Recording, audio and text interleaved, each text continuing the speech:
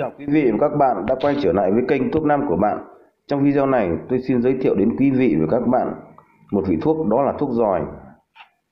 Với một số bà nội trợ, cây thuốc giỏi có lẽ cũng không quá xa lạ vì vào những ngày hè nóng nực, người ta thường mua những bó lá bán sẵn về để nấu nước mát, uống giúp người mát mẻ sảng khoái hơn.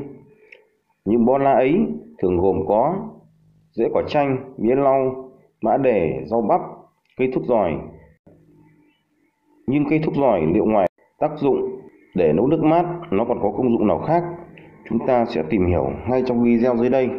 Thuốc giỏi hay còn gọi là thuốc giỏi bọ mắm, thuộc họ tầm ma hay tầm gai. Sở dĩ nó có tên thuốc giỏi, do người ta thường sử dụng nó để tiêu diệt giỏi bọ trong mắm. Đây là loại cây thân thảo nhỏ, sống thành bụi, cây cao khoảng 15 đến 20 cm thân màu tím, lá tím, trên thân có lông và cành mềm. Thân rễ có mấu cành thường ngắn, có lông cứng. Lá cây thuốc giỏi mọc so le, hiếm khi đôi xứng, lá dài 4 đến 9 cm, rộng 1,5 đến 2,5 cm. Có lá kèm, hình mác, hẹp, gân lá và hai mặt đều có lông cứng, đặc biệt ở mặt dưới có 3 gân lá nổi rõ, xuất phát từ cuống, cuống lá dài khoảng 5 mm, có lông trắng, Cụm hoa thường có cả hoa đực và hoa cái mọc thành sim ở kẽ lá. Hoa cái mang bầu nhụy, dạng elip hoặc hình thoi, đường kính 0,8 đến 1 mm. Quả có đường kính 1,5 đến 1,8 mm.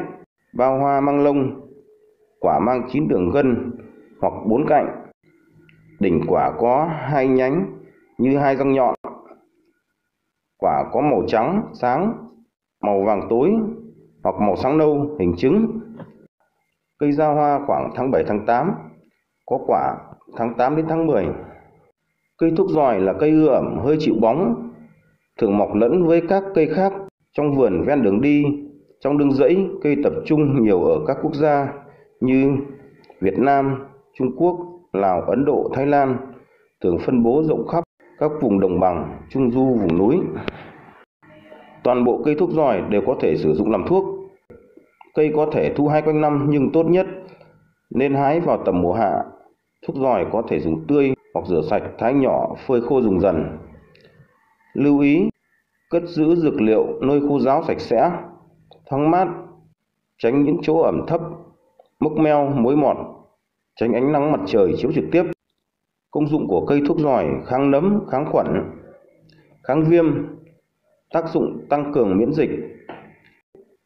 Công thức phối hợp của các cao chiết từ các dược liệu, cây thuốc giỏi, cây cóc, hoàng liên ô rô, gừng có tác dụng làm gia tăng chỉ số thực bào, tăng cường miễn dịch không đặc hiệu.